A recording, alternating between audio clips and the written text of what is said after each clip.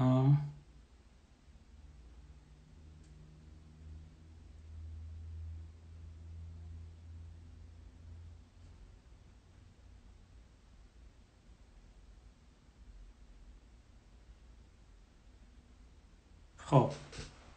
سلام بچه ها. من مانی هستم از بافلو نیویورک با account Future City connect شدم. و قراره که آخرین live رو از سری live های نوآوری و طراحی برگزار بکنیم. یکم منتظرم که عده بچه ها بیشتر بشه که بخوام حمید رو دعوت کنم. پویان دوستای قدیمی رو می‌بینم که دارن connect میشن. خب خب یه بار دیگه سلام. من مانی هستم از بافلو نیویورک در امریکا با account Future City آخرین برنامه نوآوری و طراحی رو قراره که برگزار کنم. قراره که یه گفتگویی داشته باشم با حمید قاضی در استکهلم سوئد. تا حالا برنامه های Future City خیلی جالب بود برای خود من خیلی جالب بود در مورد از AI تا data science مالکیت معنوی آینده پژوهی نوآوری در شرکت های طراحی و در حوزه نوآوری برای جوانان. صحبت های خیلی جالبی شد. حالا title اشو دقیقا نمی‌دونم ولی فکر کنم بچه ها بعدا تو شهر آینده مطالب رو در اختیار همه بذارن. گفتگوی امروز ما خیلی آکادمیک نخواهد بود. هدف من و حمید اینه که بیشتر با هم یه دیالوگی داشته باشیم که همه حتی بدون نالج دیزاین یا هنر بتونن ازش استفاده کنن. خیلی پرسش و پاسخ نیست. ممکنه جاهایی با هم نظر مشترک داشته باشیم و یه جاهایی هم نداشته باشیم که خیلی خوبه. چند روز پیش که با حمید صحبت می کردم قبلش صدای منو همه خوب میشنون دیگه. یه نفر یک مسیجی بده که من مطمئن بشم صدام خوبه.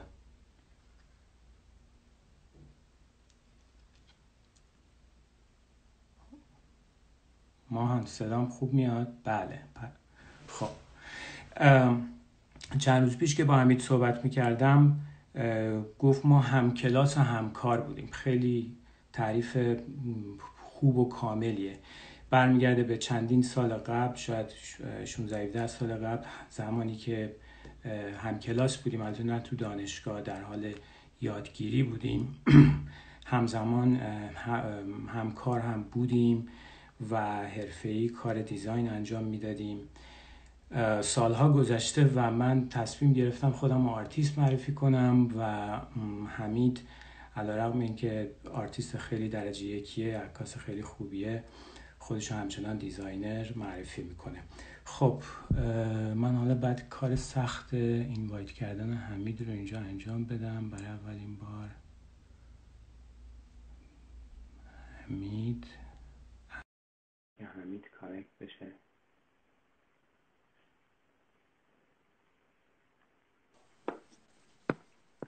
سلام. سلام از شده. حالتون چطوره؟ چطوری حمید خوبی؟ خوب خوب. عالی. خب حمید بچه ها که تو استوریا تو رو معرفی کردن من فکر کنم کسی اگه علاقه من باشه می‌تونه بیشتر در موردت بدونه. تو بگو که سوئد چه خبره با این داستان کرونا ویروس شما مثل سوئد که فرق می‌کنه دیگه. با همه تو خبرها فکر کنم کما بیش شنیدین دیگه. کلا دیپلماسیشون فرق می‌کنه دیگه. میگن که ما به ما اون چیزی که خودمون فکر می‌کنیم درست رو می‌کنیم به بقیه کار نداریم به خودمون گوش می‌کنیم. حالا چیزی که خودشون میگن تا حالا نتیجه خوبی نداشته ولی میگن که حالا جوجه رو آخر پاییز میشمارن یه خورده یه مدت اینطوری میریم ببینیم سال دیگه که کی کارش درست بوده که غلط بوده. ولی کلا که ما قرنطینه اینا نمی‌دونیم چی هست. ماسک و قرنطینه و نمی‌دونم دستکش و این حرفا هنوز اینجا خبری نیست. خب. با آغوش باز پذیرای کرونا. اینجا با آغوش باز پذیرای کرونا. خب بگذاریم از این. همین تو همچنان خود دیزاینر معرفی می‌کنی؟ می‌خوام بگم بحث رو زودتر باز کنیم. چه موقعی اسم کار تو دیزاین می‌ذاری؟ چه موقعی اسم کار تو آرت می‌ذاری؟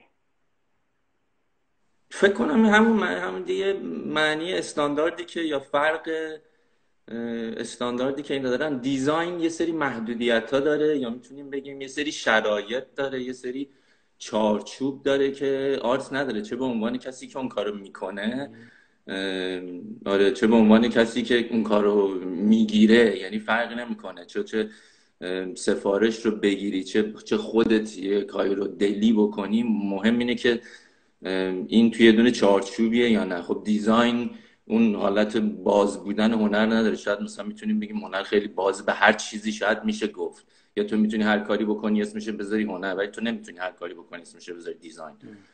باید تعریف شده باشه که چی کار قرار بشه و توی شرایطی باید یه اتفاقاتی بیفته و کاری که تموم میشه اون وقت دیگه باید اون design کار بکنه که بهش بگن design. حتی فرقی نمی‌کنه. تو اسمشو بذاری design یا نذاری design نه؟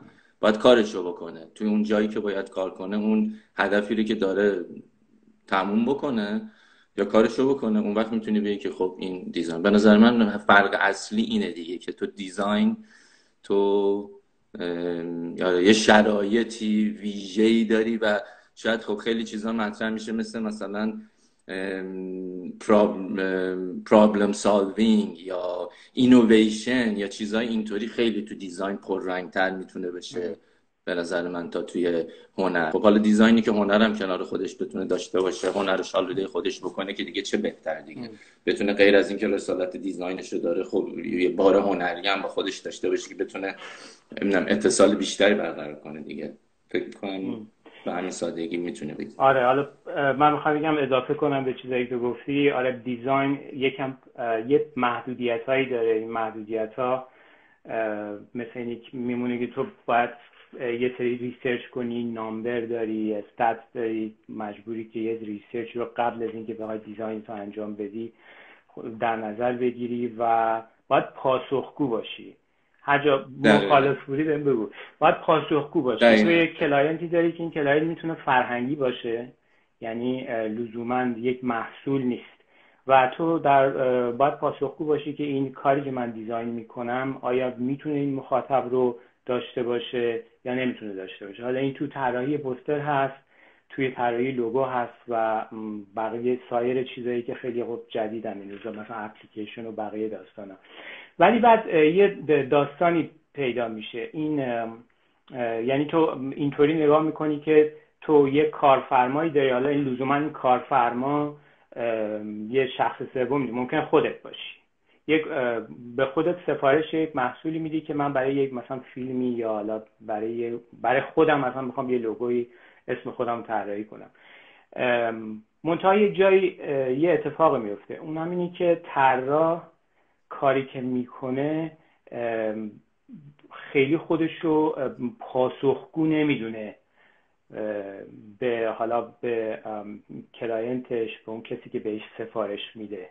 می منظورم چیه؟ مثلا اون تو دوران خودمون یاد دیگه یه سری طرحهای پوستر بودن که به این فکر نمی‌کردن که تو چه سفارشی داری به اینا میدی؟ می‌گفتن من استایلم اینطوریه و اینطوری طراحی می‌کنم. آفرین این خیلی مهمه. اینم اینم این آره اینم یه سری یعنی فقط مختص به ایران نیست. مثلا ما تو من مثلا آره. لهستان بودم طراحی خیلی فوق العاده داریم میروسلاو آدم چک که من تو استودیوش هم کار کردم. این پستراش فوق العاده است و تو بدون اینکه به محتوای اونو توجه کنی سریع می‌زنم که اینو فلانی طراحی کرده. این خیلی پایبند به اون کاری که داری می‌کنه خیلی کاری نداری که تو فیلم بهش سفارش دادی یا حالا یه محصولی سفارش دادی. البته اینجور آدما محدود می‌کنن کاراشون. آدمای زیادی هستن. زک مانستر هم اینطوریه که تو هم خیلی خوب می‌شناسی. الان نیویورک حالا بیشتر کارهای کامرشال انجام میده. یه مثال دیگه هم می‌خوام بزنم. مثلا ریچارد سرا که من فکر کنم تو می‌شناسی. خب این معمار کار یعنی معمار بوده و اون سازه های عجیبی که می‌سازه اصلا نیاز داره به اینکه تو استراکچر معماری رو بخوای بدونی تا بخوای انجام بدی. اینا رو تو بعد چطور طبقه بندی می‌کنی؟ اینا آیا طراحن یا هنرمندن؟ یا چطور یه طراحی رو می‌تونه یه روزی بگه که این کار من آرته؟ این خب این دوباره می‌رسیم به اونجا که از یه طرف نمی‌تونیم اینا رو جدا کنیم. خیلی از هم درسته؟ این از هم, هم نمیشه خیلی جدا کرد. شاید شاید من مثلا به عنوان عکاس موقعی که عکاسی می‌کنم خب اون design ه برای من مهمترینه تو اون عکاسی که شاید design ی توش نیست. میری منظورم اینه که خب composition برای من یه نقش خیلی کلیدی داره. خب اون از کجا آمده اون از تمرینم روی روی design اومده. پس منم می‌تونم ادعا کنم که آقا اینجا من دارم من دارم مثلا عکسم رو design می‌کنم یا از طرف دیگه می‌تونم موقعی که یه کار طراحی رو می‌کنم یه, یه،, یه حس و حالی از اون حس و حال عکاسی خیابونی که کلا فقط حس و حالت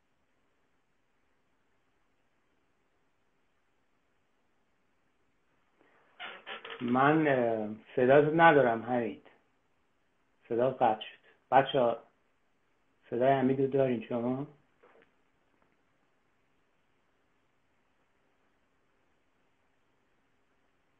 صدای حمید رو دارید؟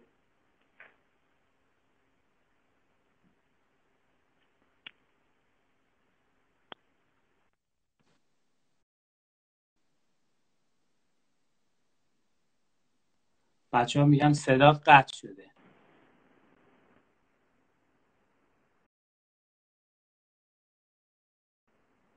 نه الان هم قطع شده صدا صدای من میاد بچه ها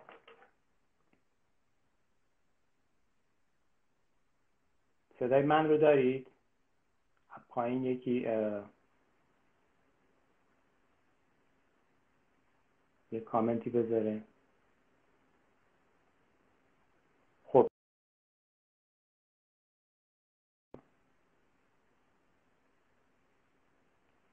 بچه الان صدای منو دارید؟ بله. خب الان بذار همین دوباره بچه بذار اینوایتش کنم.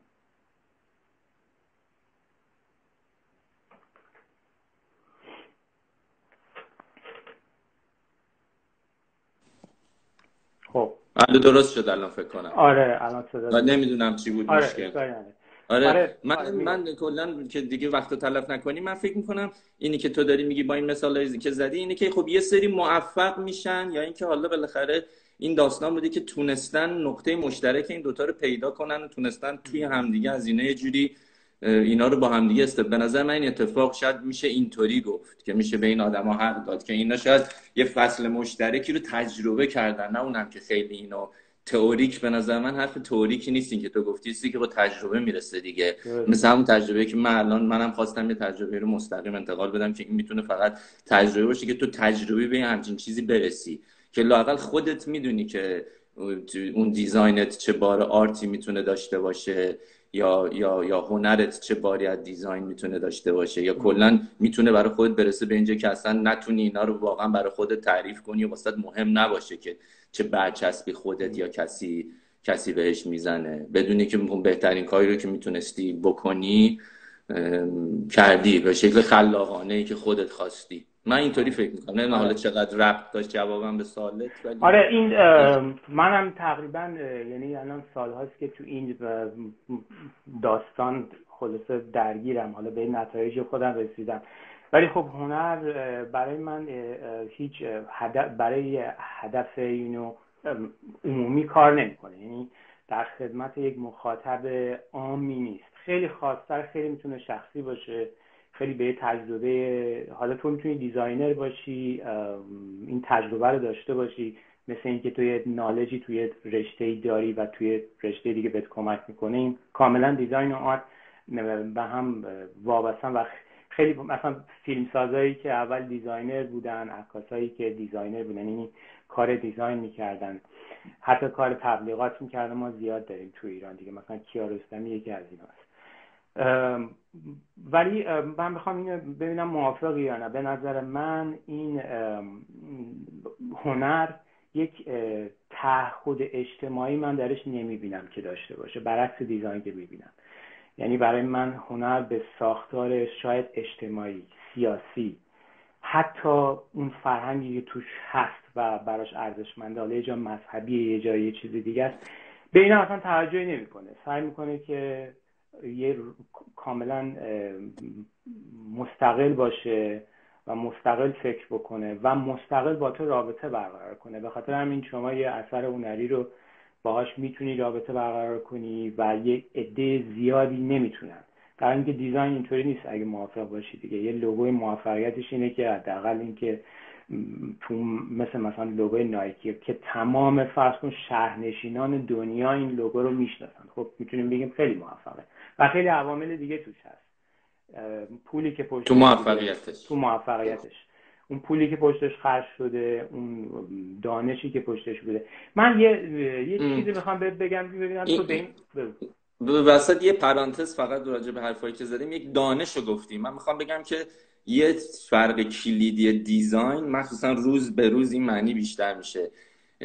design دانش توش خیلی مهمه. میشه گفت یه جوری یه شم هنریه که باید باید science و یه جوری بیاره که بتونه که همین فقط یه پرانتز بس آره. میگم.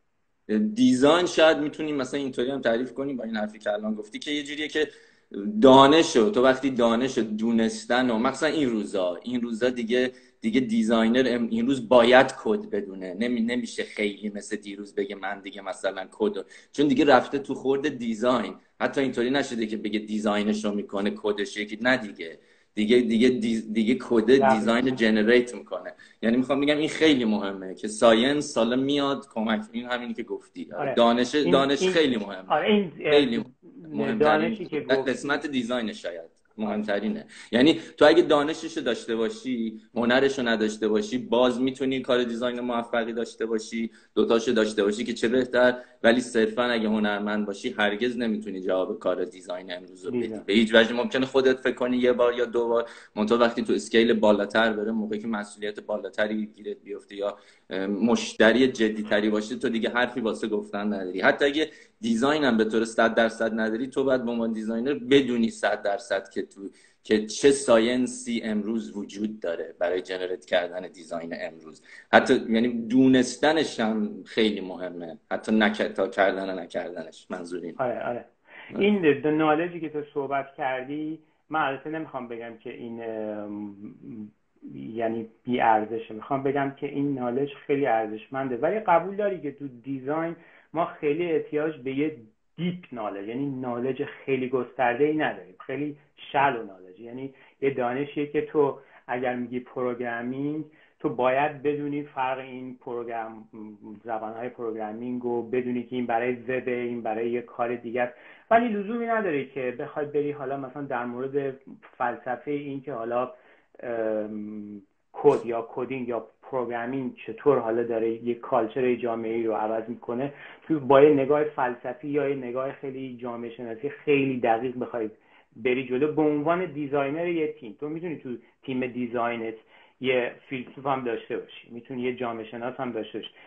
ولی من بیشتر مد نظرم اون دیزاینرهایی هست که دارن تنها کار می‌کنن. این نظر چیه؟ موافقی با این یا فکر کنی تو مثلا باید بری کامل رو یاد بگیری اگه بخوای مثلا این دیزاین من اینطوری بگم که تو تو الان اینو گفتی. حالا ما فکر می‌کنیم یه تیم طراحی خیلی بزرگ. ما فکر کنیم یه یه شرکت طراحی خیلی بزرگ توی سطح بین المللی توی سطحی که داره رقابت می‌کنه برای دیزاین کردن محصول یا سرویسی که اونم داره رقابت می‌کنه. خب آدمای آدمای زیادی رو جمع می‌کنه تا دیپارتمان به دیپارتمان ده نفر 20 نفر بزرگتر که بکنی 100 نفر 200 نفر کلا. خب هر کدوم از اینا توی دانش خودشون دیپترینن. دقیقا. ولی برای برای اون محصول نهایی که قراره که اتفاق بیفته اونا دیگه deep deep ترین توی نمیشه گفتش که deep ترین تو تمام رشته هایی که منجر به اون محصول میشه درسته؟ یعنی دقیقا همونطور که گفتی. روانشناسی اونجا وجود داره نقاش fine art ی اونجا وجود داره عکاسی اونجا وجود داره برنامه نویسی وجود داره interaction designer ی وجود داره. همه اونا دانش دانش هرچی دانش بهتری نسبت به کار خودشون داشته باشن می‌تونن راحتتر کار دیگری رو استفاده بکنن و می‌تونن راحت تر از این تیمی که دارن استفاده بکنن و یه چیز خیلی مهمتر اینه که وقتی از تمام این استفاده کنن آخر سر اون منجر به design ی میشه که میگیم یه design innovative یه که به نظر خود من اگر این اینویشن اتفاق نیفته اصلا design نیست. شاید مثلا نمی‌دونم چی میشه اسمشو گذاشت. شاید من خودم تا چند سال پیش این فکر رو نمی‌کردم. ولی الان فکر می‌کنم که اگر اون اینویشن نب... نه که فکر می‌کنم تجربه نشون داده. بله. تو جایی که کار کردم تو چیزی که دیدم دیدم آقا وقتی اون innovation نبا innovation نباشه کلا وقت تلف شده نیروی انسانی و زمانیه و پولیه که اونجا رفته. پس اگه هر کدوم اینا دانش زیادی داشته باشن دانش خیلی زیادی داشته باشن حالا چه چهار تاشون دارن با هم کار می‌کنن چه صد نفری دارن با هم کار می‌کنن اگه صد نفرن. پس بالاخره اینا این دانش با هم دیگه است که میاد جمع میشه. آخر سر یه inno یه design innovative ی میاد. که حالا اون design ه میاد کار می‌کنه توی سطح بالا. ولی خب حالا بگیم آره همین. آره. حالا من دوباره می‌خواستم یکم در مورد فرقا صحبت کنم. من همینطوری که میگی design problem solving می‌کنه خیلی به دنبال نیست که دوباره یک question دیگه رو مطرح کنه. بیاد بگه که حالا ما به این جنبه باید فکر کنیم به اون جنبه باید فکر کنیم. بر... دقیقا برعکس اونه.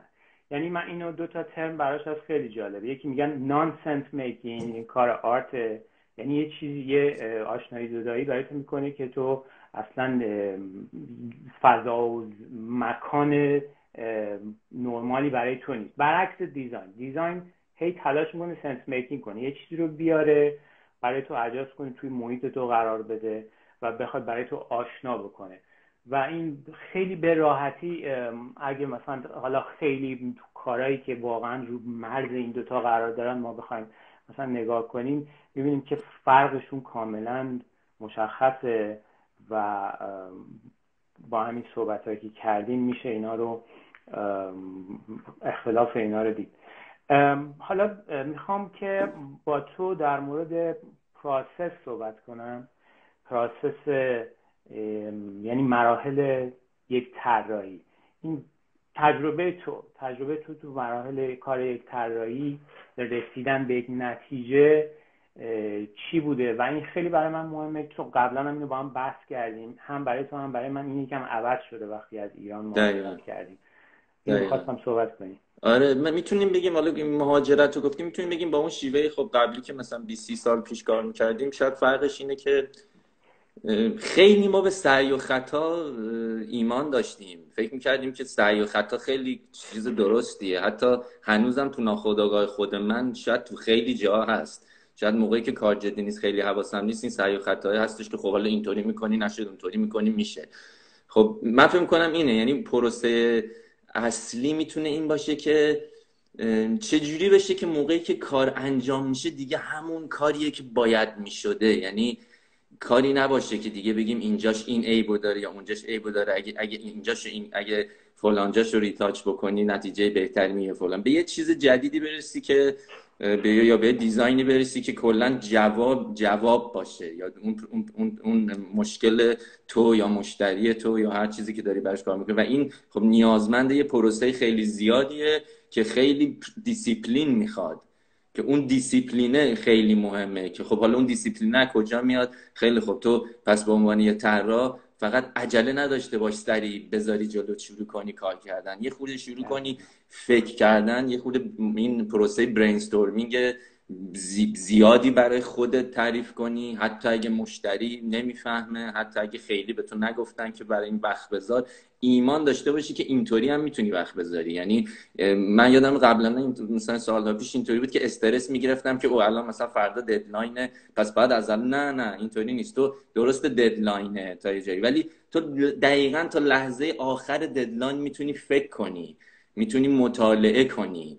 و اون موقع اون موقع زمانی که اون دیزاین برای تو می‌بره ممکنه یک دهم اون زمانی باشه که تو بخوای صرفا با سعی و خطا بکنی. و تو اون وقت تو زمان کم می‌تونیم حتی قسمت business ش برای من خیلی مهمه که بگم okay الان که مثلا این لوگو رو طرف لوگوی من رسید به اونجایی که باید می‌رسه الان دیگه این لوگو داره میره و زندگیشو شروع می‌کنه. چقدر برای من طول کشید که به این زندگی بدم؟ چقدر این زن... چقدر این پروسه تو ذهن من طول کشید؟ چقدر تو دست من طول کشید؟ خب مثالی من دارم که 20 تا لوگو زدم. آخر سر هم برای خودم سخت بوده امتحان کنم هم برای طرف. واسه اینکه از اول شروع کردم هر ایده اومده رو زدم تا اینکه آخر سر بعد باشون کار کردم تا اینکه یه 5 تا از توش در اومد و حالا خوب یا بد یا نه یا اونطوری شده که من فکر کردم مطالعه کردم مشورت کردم و آخر سر فقط یه کار کردم و زمانم هم خیلی خیلی کمتر از اون زمان گرفته شده. زمانی که توی زمان که برای طراحی من رفته. خب اینطوری خستگی تو کمتره اینطوری تو تو کمتر چی میگن؟ هدر میدی ایده ای رو و آخر سر می‌رسی به ایده ای نا حالا اینی که من شاید این رسیدم بهش باز من شخصی نرسیدم. من وقتی که ایران تبدیل شد به جای دیگه محیط کار دیدم اه حالا مثلا سوئد. میگیم سوئد خب من اینجا بودم سالها. می‌تونیم بگیم که اینطوری بوده که من فهمیدم که خیلی خوب پس ما اینجا ما بیشتر حرف می‌زنیم تا اینکه بخوایم بیشتر کار کنیم. حرف می‌زنیم حرف می‌زنیم حرف می‌زنیم. تا دیگه موقعی که کار داره موقعی که دیگه کار رسید به اجرا دیگه حرفی توش نیست. می‌دونی؟ این نمی‌دونم حالا چقدر این این فرم این این فرمولی که دارم اینطوری آره. میگم آره ولی میگم یعنی تو می‌تونی انقدر حرف بزنی با خودت یا با اون تیمت یا چیز انقدر بررسی بکنی ابعاد مختلف قضیه رو انقدر همه جا رو نگاه بکنی ریسرچ بکنی استادی بکنی. تا تا دیگه حرفی توش نباشه وقتی کار تمام میشه. نه برای خودت حرفی باشه نه برای مشتریت نه برای اون پلتفرمی که قرار اون دیزاین توش ریلیز بشه. اون موقع حرفی نیست. کار می‌کنه و خیلی عالی با کمترین زمان و بیشترین هزینه برای تو دیگه. تو کمترین هزینه رو گذاشتی دقیقا همون همون حق و, حق و زحمه ای رو که می‌گرفتی موقعی که بیستاد پای سر هم می‌زدی تا اینکه انتخاب بشه. تو با پنج دقیقه کار به اون رسیدی. تا اون موقع تو می‌رسیدی با 50 سال. ولی من واقعا رسیدم به اینکه دیدم اه من پنج دقیقه همون کاری رو کردم که شاید 50 روز برای من طول می‌کشید. البته این اینو می‌خوام اضافه کنم که یک یه دلیل این چیزی که تو میگی که منم این تجربه رو الان می‌کنم اینه که خب آدم یه تسلطی پیدا می‌کنه بین پروسه فکر کردن و انجام دادن. و همینطوری که تو میگی این پروسه آزمون و خطا هی تو طراحی کم میشه. آزمون و خطا منظورم اون عملیه که اون اکتیه که تو یه محصولی رو آماده اجرا می‌کنی. حالا می‌تونه ساختمونی باشه معماری باشه می‌تونه دیزاین باشه. و یه تو یه انرژی زیادی رو می‌ذاری به خاطر اینکه این کار دیزاینه به خاطر اینکه یه مشتری داره به خاطر اینکه یک سری یک عده توقع دارن یه دیمندی پشتش هست که تو باید یه محصول رو آماده کنی یاد می‌گیری که بیشتر فکر بکنی تا آزمون و خطا. ولی این برای من حداقل تو هنر متفاوته. یعنی تو شخصی ها برای اون اثری که به دیگری میدم اون یه چیز دیگه است. قسمت فکر کردن که وجود داره که تو ممکنه سالها یعنی ممکنه چند سال حتی فکر بکنی. برای ایده ای که یه روزی تو یک لحظه اتفاق میفته. قبول داری اینا؟ دقیقا دقیقا. آره. و یه بحث دیگه پس اینا متفاوت هم چون یکی پرسه بود که آزمون و خطا در هنر وجود داره. خیلی به نظر من هنر فقط آزمون و خطاست و من اخیرا به این نتیجه رسیدم اصلا بیشتر خطاست هرچی بیشتر خطا می‌کنی انگار نتیجه بهتری می‌گیری. چون هرچی بیشتر خطا می‌کنی میای از اون نرمال اون خط نرمالی برای تو به وجود آورده جامعه خارج میشی و یه حرفی اضافه بر اون ساختارهای اجتماعی داری که مطرح بکنی. می‌خوام در مورد این در مورد concept صحبت کنیم. در مورد ایده. یکم این که این concept چطور تولید میشه؟ چقدر به فکر برمیگرده یا research برمیگرده چقدر به تجربه برمیگرده؟ به خصوص در مورد تو. حالا ممکنه هر کی یه تجربه داشته باشه. تو چطور به ایده به یه ایده می‌رسی که میگه آها این ایده این چیزی که من الان می‌خوام تو عکاسیم ازش استفاده کنم یا تو طراحیم ازش استفاده کنم؟ یا کلا اینا برای تو متفاوته؟ می‌دونی من می‌خوای بیشتر توضیح ببین منظور. می‌فهمم آره بگو آره. بگو بگو. منظورم اینه که تو یک هم... پیش خود فکر می‌کنی حتی مثلا شب رفتی می‌خوای بخوابی و میگی آه یه, یه فکر خوبی دارم. اینو بخوام فردا روش کار کنم. این حالا می‌تونه یه عکس باشه می‌تونه یه کار طراحی باشه. این برای تو بیشتر شخصی من می‌دونم که تجربه و نالج چیزی که تو نمی‌تونی اینو جدا کنی از خودت. ما نمی‌تونیم دانشمون رو کتابش رو ببندیم بذاریم مثلا یه گوشه تو ذهنمون نباشه. همیشه با ما هست. ولی این چطور اینو می‌تونید بیان بکنی؟ می‌دونم سختم هست. که تو این تجربه شخصی چطور؟ آخه تو حرفای ما من فکر کنم یه جورایی من, آره. من تو از من سوال می‌کنی من راجع به طراحی جواب میدم می‌دونی؟ ولی تو راجع به هنرم داری حرف می‌زنی. آره. یه جوری بعد خود من حالا اونجوری که تو میگی شاید مثلا عکاسی می‌کنم تو شاید اسم هنر حالا روش می‌ذاری نمی‌دونم. نقاشی می‌کنم تصویرسازی می‌کنم اینا رو شاید تو روش اسم هنر می‌ذاری. طراحی داستانش فرق می‌کنه. دوباره طراحی که به من میگی اون پروسه ای که تو داری میگی من تغییر خیلی زیادی می‌بینم. تو اینکه تو کار طراحی رو که داری می‌کنی خودت به شخصه داری وان منز جاب داری می‌کنی یا تو جزو مجموعه بزرگی هستی. این برای این برای من یه خیلی مسئله بزرگی که تو بعد اول اینو برای من تعریف کنی. خب خیلی اون پروسه کریتیوی که تو داری میگی فرق می‌کنه. موقعی که تو داری توی یه دونه مجموعه کار می‌کنی با یک سری توی تیم داری کار می‌کنی و اون و با اینکه تنها داری می‌کنی. و می‌تونم اینطوری بگم کاری که یه تیم برای من لاقل اینطوری بوده. کاری که تو به عنوان یه کاری مجموعه می‌کنی کاری که تو توی تیم می‌کنی کار بزرگتریه هدف بزرگتری حتما برای من اینطوری بوده. داشته و, و, و دیزاین خیلی قرص و قرص و هیچ وقت من به عنوان یه دونه, یه دونه شخص نمی‌تونم اون کار رو بگیرم. من هیچ وقت نمی‌تونم به عنوان شخصی یه دونه یه دونه شرکت یه دونه مجموعه خیلی عظیم رو داشته باشم که که بیاد که, که بیاد به من بگه آقا من مثلا ما هدفی داریم که امسال این کارو بکنیم شما بگین که باید چیکار بکنیم. خب از اول طرف هیچ وقت کسی نمیاد تنهایی به تو بگه تو به من بگو من یه شرکتی به این بود بیا تو بگو تو شخص به من بگو که من باید چیکار بکنم. من باید رو ویدیو سرمایه گذاری بکنم. من باید روی چریتی سرمایه من از, از کجا باید برم تو؟ اگر این, کارو، اگه این کارو بکنه اصلا داره اشتباه می‌کنه. آفرین. پس می‌خوام بگم این خیلی فرق می‌کنه. خب من به عنوان شخصه خب می‌تونم بگم من اگر مثلا بزرگترین کاری که بتونم بگم آره یه شرکتی مثلا به نسبت نه بزرگ یا کوچیک آره به من اعتماد می‌کنه به من میگه که آقا تو تو از logotype منو طراحی کن تو corporate identity منو طراحی کن تو وبسایت منو طراحی کن تو اپلیکیشن. آره این هست ولی باز این نهایت کار طراحی نیست. چون اون اون شرکت وقتی بزرگ بشه روزی میشینه به تیم دیگه این کارا رو نمیگه بکن. این کارا دیگه شده و این کارا کارهای پیش پا افتاده. در مقابل اون کاری که یه تیم می‌تونه بکنه و اون کاری که اصلا معلوم نیست. چی می‌خواد باشه روز اول. پس من که طراح لوگو هم میشینم فکر می‌کنم اونی که اونی که مثل تو video artist میشه فکر می‌کنه. حتی ممکنه یه دونه بچه‌رم بیاریم که اونم اونم به همون یه دونه ایده بده یه جایی فکر کنه که من واقعا این کارا رو کردم. یعنی جایی کار می‌کردم که یه روزی ما مثلا توی یه دونه پروژه بزرگی که داشتیم یه روزی 7 ده تا بچه خیلی کوچیک می آوردیم و میریختیم و می‌گفتیم آقا بشینین شروع کنیم کار کردن. و بهترین کارا از اون تو میومد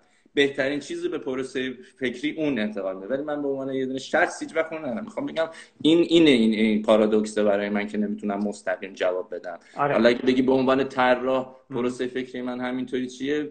خب مثل هر کس دیگه است. شاید خیلی فرق نمی‌کنه. تو ناخودآگاهت هست توی دفتر اسکچ بوکت هست توی کامپیوتر تو آیپدت همینطوری یا حتی ایده ای می‌رسه تو تو قطاری توی چه می‌دونم موبایلت هست و همه اینا به هم دیگه دست میده و اونجایی که بهت وحی میشه که کدوم بهتر رو رو کدوم یکی آره. کار کنه. این, این می‌خوام خیلی فرق می‌کنه آره. می‌خواستم وارد این بحث بشم که وقتی آدم به یه کانسپتی فکر می‌کنه تو ذهنش حداقل برای من اینطوریه. من همزمان دارم به ابزارشم فکر می‌کنم.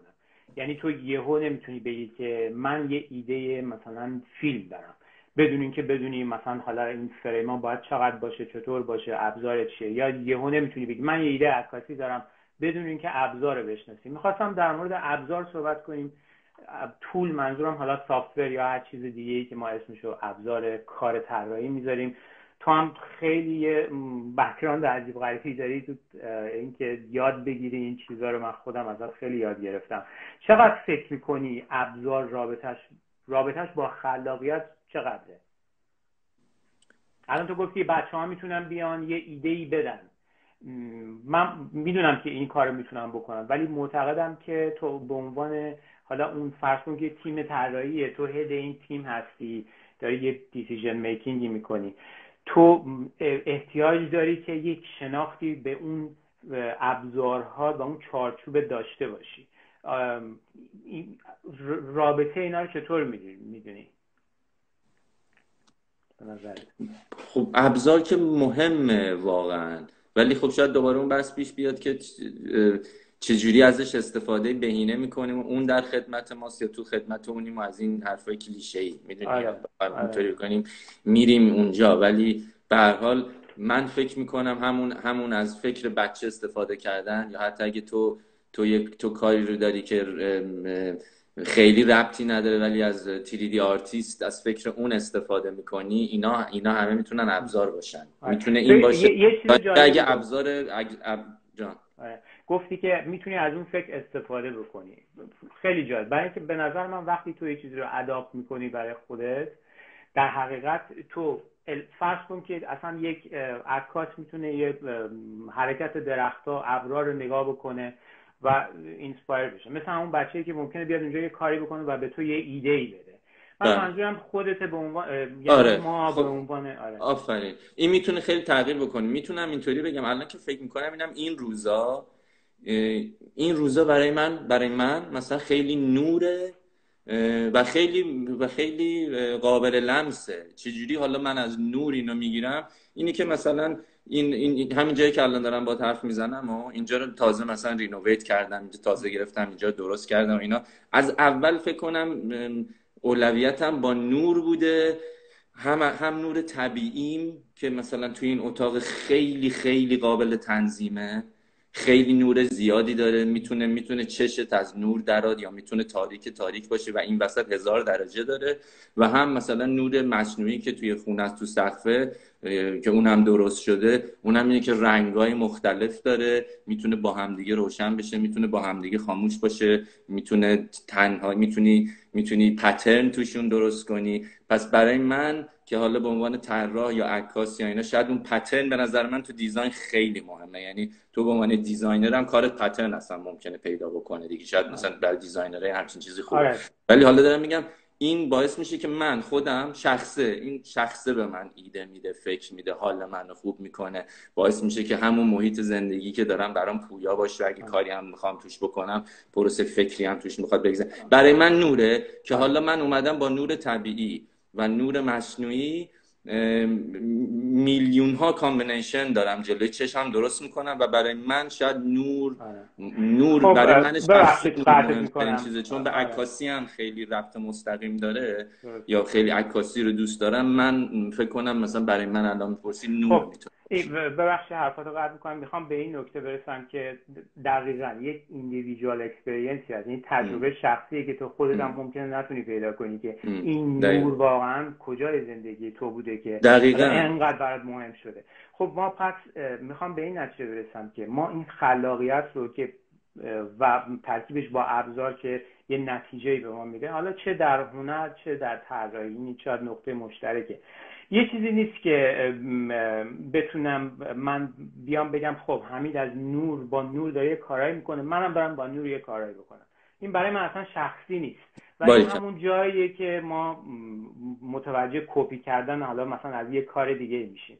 تو هیچ وقت نمی‌تونی از یه مثلا معمار که صاحب سبکه یا یک طراحی که صاحب سبکه بگی که خب تو چطور خلاقیت انجام میدی؟ نور برای تو مهمه. خب فردا نور برای من مهمه. این اینطوری کار نمی‌کنه. نه به نظرم تو طراحی که خیلی شخصی اینطوری کار می‌کنه نه در هنر که به هیچ عنوان کار نمی‌کنه. برای اینکه تو ناخداگاه یه سری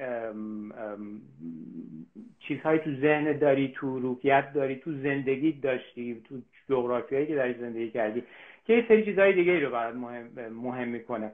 و یه نکته دیگه هم که اینجا هست این این چیزهایی که برای تو مهم هستن هیچ وقت جنرال نیستن. یعنی ما نمی‌تونیم بگیم همه مردم دنیا به نور حساسن. نه.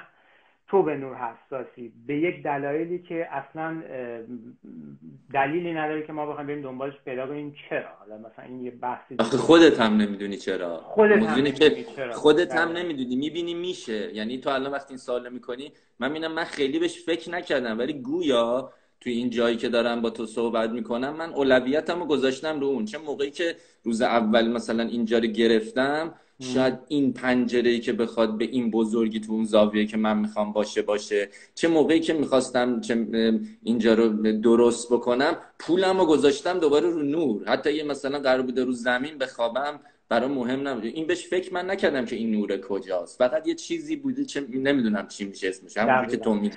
یه چیزی بوده تو تو دلت یه چیزی بوده تو تو دل جد... مثلا دنبالش رفتی. همونطور که تو عکاسی مثلا دنبال آفتاب میگردی یه سایه باشه. همون یه عشق شخصی می‌تونه باشه. آره, آره. که خودت هم بهش می‌رسی.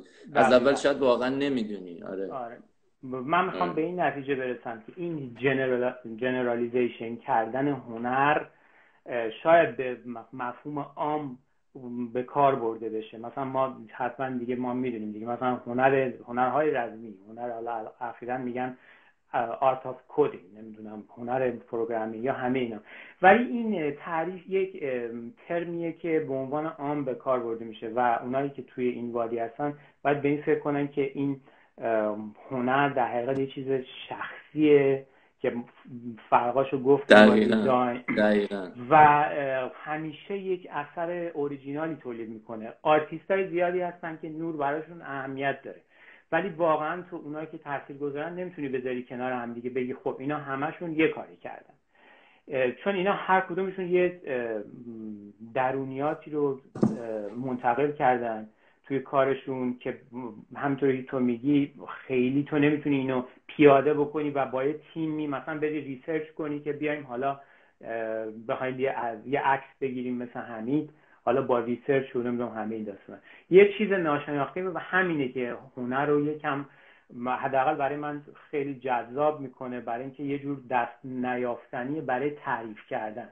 حالا می‌خوام وارد این داستان بشم که صفحه پنج صفحه شیش ببینم کدام چی قبل از حرف که می‌خوام بگم اینجا فرق من فرق می‌کنه که دقیقا به همین دلیلم هنر برای من اونقدر جذاب نیست که بگی هنر. واسه اینکه به نظر من هر کاری که هر کسی در مقابل دیزاین ها بخاطر اینکه به نظر من دیزاین یه کاریه که یه کار س... یه کاری که تو بعد از پس یه چیزایی بر بیایی تا تا تموم بشه. ولی تو تو تو, تو هنر تو می... واقعا هنر آشپزی هم یه هنره. تو یه آشپزی خیلی خوبی می‌کنی یه خلاقیت خیلی زیادی و می‌تونی بگی آخر می‌تونی اسمشو بذاری هنر. می‌دونی؟ پس یعنی می‌خوام بگم که همون تو که تو میگی این هنر خیلی بازه مشکل من در مقابل طراحی آنه میگم من هنر خیلی دوست دارم. آره. ولی میگم چرا برای من در مقابل طراحی می‌تونه؟ به خاطر اینکه طراحی نشون میده که تو تو تو از یه مرحله تو از یه جایی رد شدی. آره. تو تو یه سری اینو... تو یه سری, تو یه سری تیک رو گرفت. من نمیگم آرتیستا اینو ندارن ولی تا اونجایی که تو برسی تو به اونجایی برسی که آره. بگن آرتیست تا موقعی که خودت بگی من دارم art و می‌کنم این یه چیزه ولی تو design ی نیست. تو می‌دونی design کردی و design هم موقع وقتی دیگه بره بیرون design release بشه design شده. ولی برای art تو یه پروسه ای داره.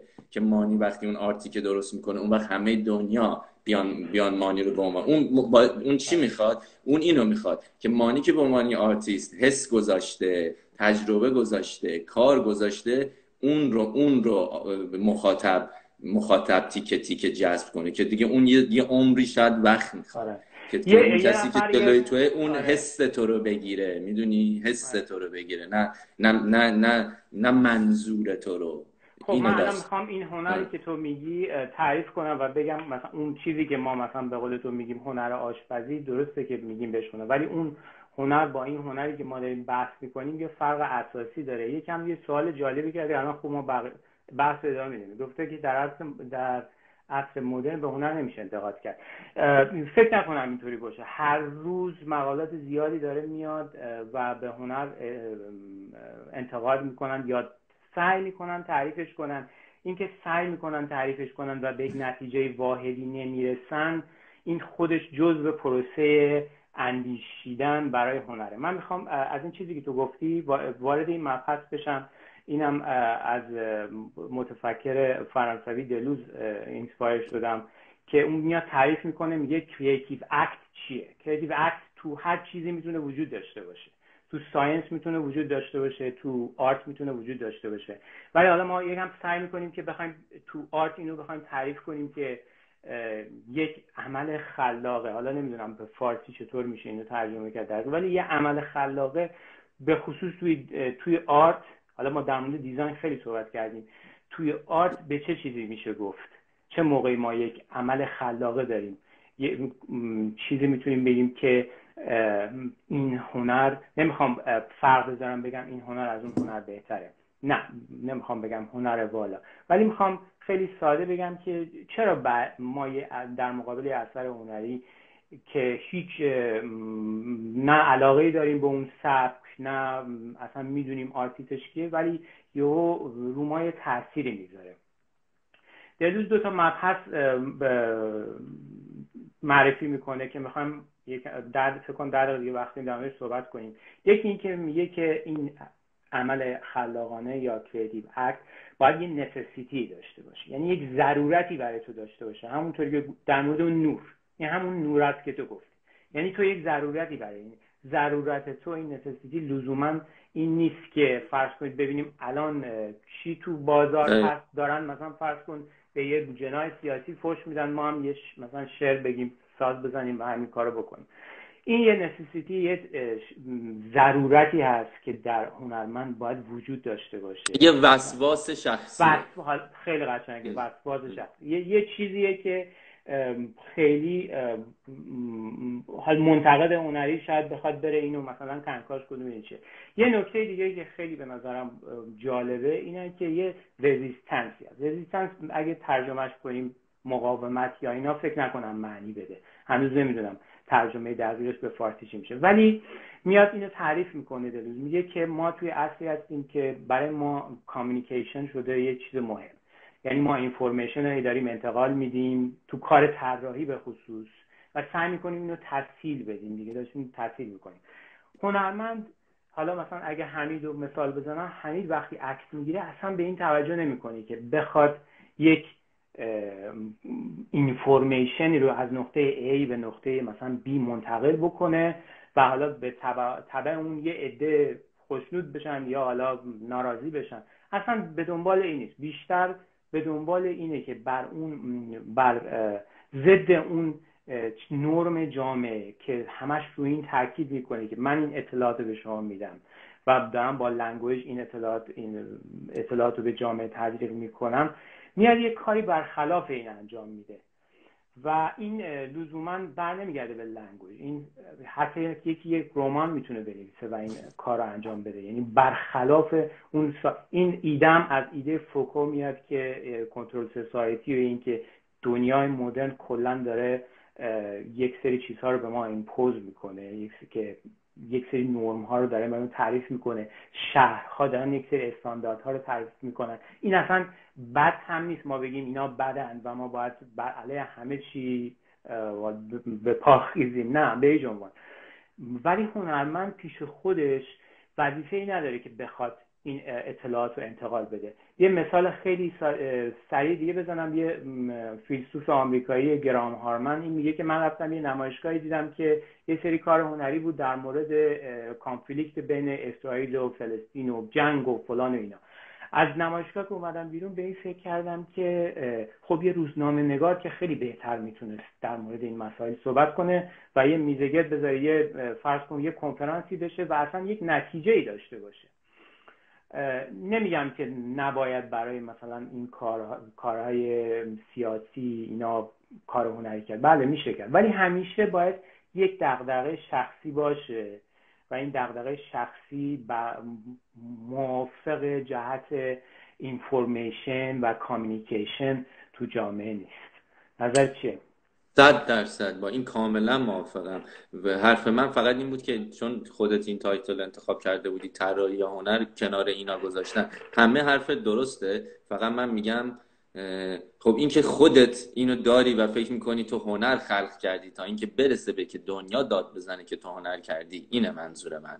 بله. منظور من اینه که تو بله. چقدر خودت می‌خوای فکر کنی که تو یه هنری از خودت به خرج دادی تا برای من اون قسمت مهمه. بازم برمیگردم به دیزاین. چون تو دیزاین تو این تو این رو سریع می‌گیری. تو تو design از فاز یکت که اون ورتر نره کار میخوابه. هر چقدر کارت بهتر میشه همینه. از همون اول باید کم کم گام به گام کارت بره جلو تایید رو بگیری بدونی که بدونی آهان design درستی کردی که داره کار می‌کنه. حالا اینکه حالا قرار design رو تو داری برای قشنگی می‌کنی یا برای کار من به اون کاری ندارم که design چیه. موضوع که job design. منتها به عنوان هنر خب تو می‌تونی بشینی. خب کی به من میگه که حالا تو که عکاسی کردی این عکست هنریه یا نه؟ یا توی هنرمند عکاسیه؟ کسی که خب اینستاگرام نمونه بارز این قضیه دیگه. یا حتی آره و می‌تونیم بگیم که حتی اگه تو وقتی این کارم می‌کنی تو تو داری میگی که تو نمیشه این ولی من دارم میگم چرا؟ همونی که تو این کار می‌کنی و همون که دنیا به تو بگن که این هنره و تو بالاخره یه هنری از خودت به خرج دادی مثلا این عکس یه هنره ما این جایزه رو به تو میدیم. خودت هم می‌بینی یه سری هنرمندی که تو حالا به عنوان هنرمند می‌شناسی اونا دارن شرکت می‌کنن حالا جایزه رو میدن به تو. ولی چرا نمیشه که بعد اون کار تو رو کپی بکنن؟ اون اون تو الان تو حرفات اینو گفتی ولی راحت میشه کار تو کپی بشه. راحت میشه که اون آره کپی کپی راحت میشه و اونی که کپی هم می‌کنه ممکنه به خودش هنرمند بگه و اون جایزه هنری هم که می‌گیره از تو بزرگتر باشه. بله این از این از این بگیر تا اینکه ممکنه که کمترین کمترین کارو می‌کنه و اسم خودش رو می‌ذاره هنرمند هم میگن بهش هنرمند. خب هر کسی که نقاشی می‌کنه که هنرمند نیست که. هر کسی که می‌کنه که هنرمند نیست تو باید نقاشیت برسه برسه به اون جایی که اسم هنره بتونه. صرفا به, به, به, به برای اینکه تو نقاشیت خوبه برای اینکه تو طراحیت خوبه و تو یا برای اینکه عکاسیت خوبه تو نمی‌تونی آرتیست باشی. یعنی واقعا تو می‌تونی هیچ کدوم از اینا هم خوب نداشته باشی و آرتیست باشی. تو می‌تونی هی... تو... تو هیچ کدوم از این زمینه ها خوب نباشی ولی فکری داشته باشی که بتونه منجر مثل ادبیات چیز بارز این قضیه است دیگه. چی رو این داره؟ یه کلمه است یه جمله می‌تونه انقدر هنرمندانه باشه که هیچ تابلوی نیست. یعنی رو حرف تو کاملا درسته. فقط دارم میگم این وسطاش موضوع که همونی که خودت میگی هنر یه خود بازه. هنر اینطوریه که اون بازی رو داره و طراحی نداره دیگه. پس هر کسی می‌تونه بگه من هنر کردم من هنرمندم.